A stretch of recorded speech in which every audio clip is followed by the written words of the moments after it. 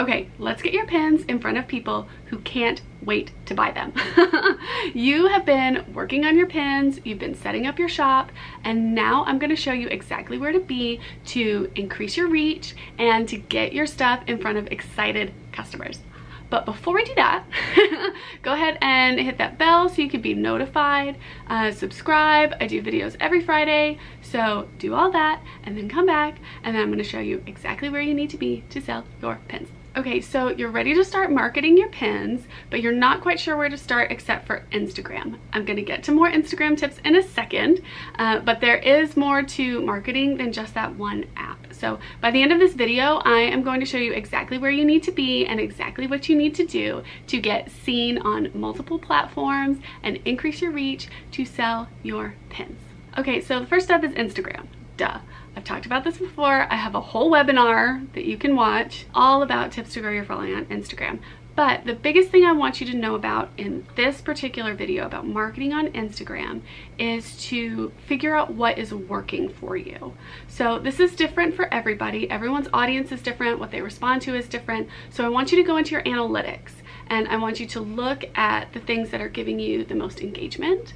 And I want you to look at the things that are giving you the most likes and the really important ones are the click-throughs.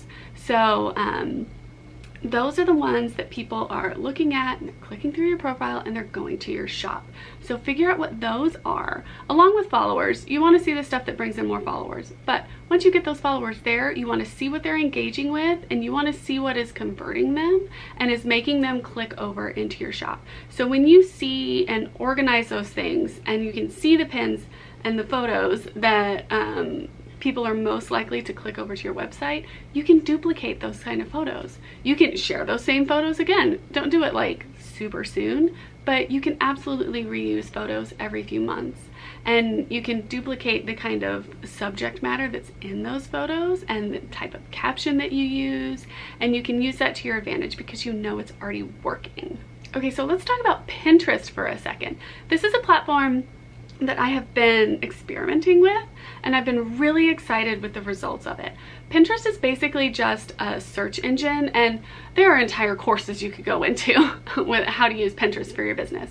But for, again, the purposes of this video, we're gonna take a higher level look. So Pinterest is a search engine. So that means you can put a pin up and then it's there. So if people are looking for it, um, if people are looking for certain things, if you've got keywords, if people are responding to photos that are similar to yours, Pinterest is gonna show them. They've got their own algorithm too. So you can utilize Pinterest for your shop by uh, creating a board for just your shop. So you can have all of your own products in there. You could have a board for your Instagram. You can cross promote on both of those. You can repin pins from each one. You can have boards that are themed. So I have one that's like super cute pins, um, cat pins, and I've gone kind of granular with the types of boards that I have around pins.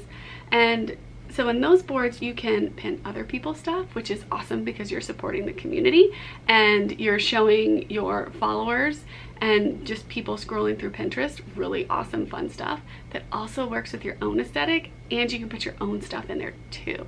So I think it's really, really fun. It takes kind of minimal effort to get used to it. Of course, there are people, it's their whole job. Uh, a lot of people go really hard into Pinterest, but for our purposes, I think it's good if you want to just dip your toe in a little bit, see how it goes um, make just a handful of boards and pin stuff and just kind of watch. I've, I haven't even really touched mine in a couple of months and my views, my monthly views keep growing, which is pretty awesome.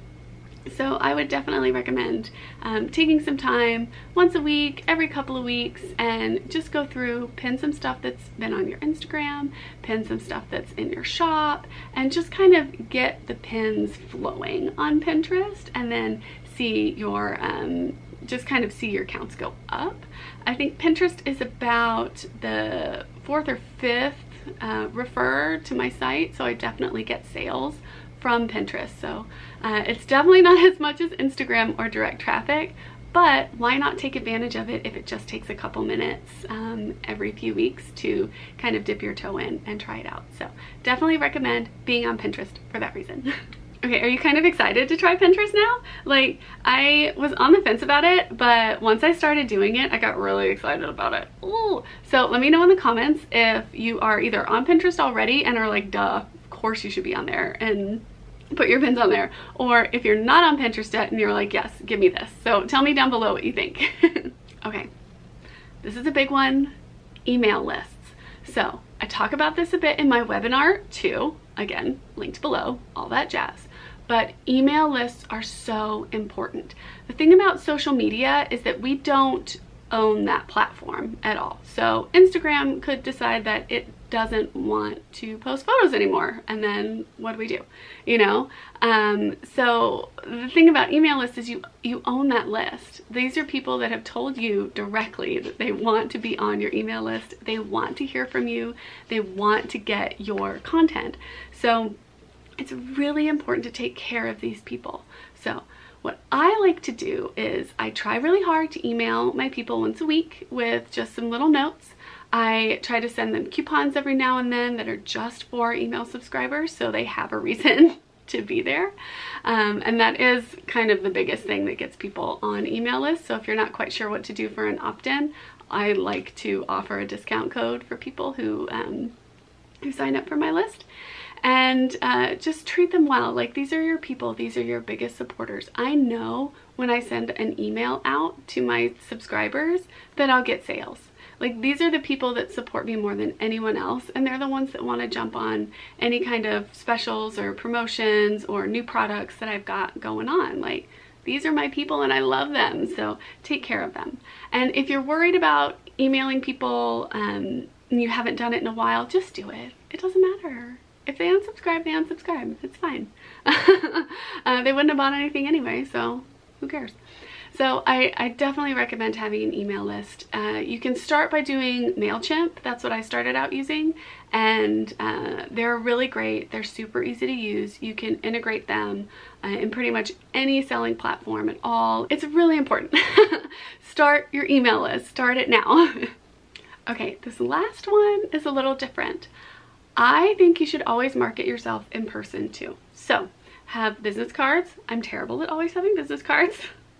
Uh, but I do have special logo pins that I send out in orders, you know, over a certain amount, you get a free logo pin. So I keep those with me at all times and they've got my the name of my shop on the back of the pin. And if anyone comments, and this has been huge since I've gotten my Ita bags, but people always comment on my bags because it's still um, a pretty new thing and people are super into pins and when they see someone with a pin collection they're like I understand you you know? And uh, whenever anyone reaches out to me or taps me on the shoulder and is like I love your bag that's awesome then first thing I do is say thanks I made it which is like the best feeling in the world. But it's also really cool when you can hand them a free pin and be like here my shop is on the back of this and um, definitely check it out. I was in Target the other day and this gentleman comes up and is like, can I take a picture of your bag for my daughter? She really likes pins. And I was like, sure. And then we ended up chatting. I gave him a pin from off of my bag. And then he, um, he ended up coming to Flair Fest that weekend. And they hung out and supported all the other artists there. So you can't, you can't underestimate in-person stuff. So it's the same when you're at shows. Always have your business cards, I don't know, it's just been really fun talking to people uh, about my shop and explaining what I do. And having my Ita bag there with my pins is a really great way to like help people understand. Because a lot of times you say I make enamel pins and they're like er. uh, but if you have a physical thing to show them uh, then it really helps. So I think it just helps build a deeper connection with just other human beings and with your local community, which is really great. And yeah, I don't know, I just think having that physical pin, uh, the one I have is really small. It doesn't have to be super expensive, uh, but I think having the pin is just this kind of extra over the edge when you give someone a free pin because they get really excited about it. So I don't think there's anything wrong with tooting your own horn uh, in person with actual human beings too. Okay, so we talked about Instagram, so I want you to go into your analytics and I want you to take a look and see which posts are giving you the most clicks and the most engagement.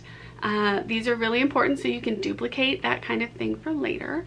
I want you to take a look at Pinterest and if you've already got one set up, awesome let's be friends on Pinterest. um, and if you don't, take a look around, explore. You can look at my profile just to see an example of what someone's doing with pins on that site. So take a look and dip your toe in. I think it'll be really good. Uh, for email lists, if you don't have an email list, get one. Um, and if you haven't emailed your people in a while, do it. and then and then don't be shy when you're in person with someone. Give them a business card explain what you do be excited about it and be confident in your work because you're awesome and you own your own business. And of course you should holler about that Okay, so do you feel good about those options? It's not too much.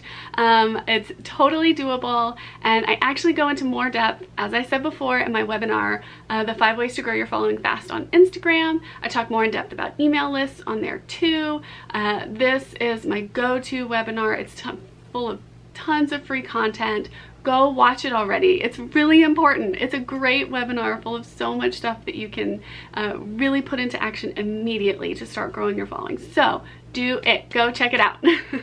if you like this video, go ahead and take a screenshot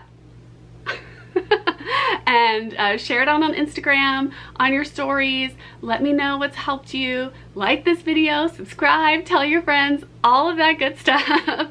and, um, and give me a party horn. Toot toot. Worst. Give me a party horn emoji in the comments below if this has been helpful. Let me know what you think. I would love to talk about it. I love talking about social media and marketing and all that stuff. So let me know. I hope you liked it and I will see you in the next video.